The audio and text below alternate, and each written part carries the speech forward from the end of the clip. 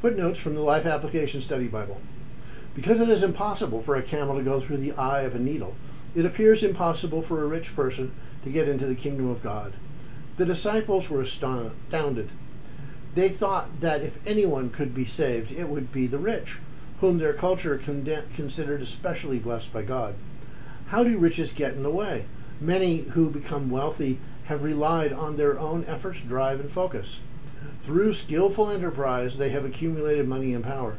To lay these values and drives at Jesus' feet would be very difficult for them.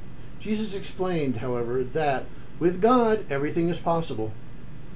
Anyone can enter the kingdom as God graciously brings them in. When they become followers of Jesus, they will want to share their wealth in God's service. Has faith in yourself or your money become excess baggage that you need to lay aside? In the Bible, we see God rewarding his people according to his justice. In the Old Testament, obedience often brought rewards to people in this life. But obedience and immediate rewards are not always linked.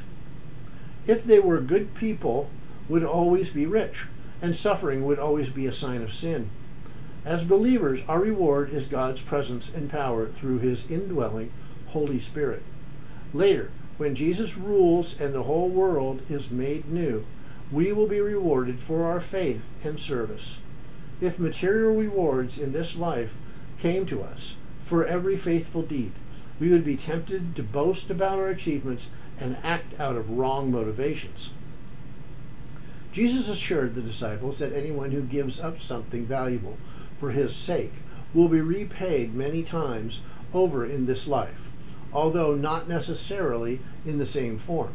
For example, a person may be rejected by his or her family for accepting Christ, but he or she will gain the larger family of believers. Jesus turned the world's values upside down. Consider the most powerful or well known people in our world. How many got where they are by being humble, self effacing, and gentle? Not many. But in the life to come, the last will be first. Don't forfeit eternal rewards for temporary benefits. Be willing to make sacrifices now for greater rewards later. Be willing to accept human disapproval while knowing that you have God's approval.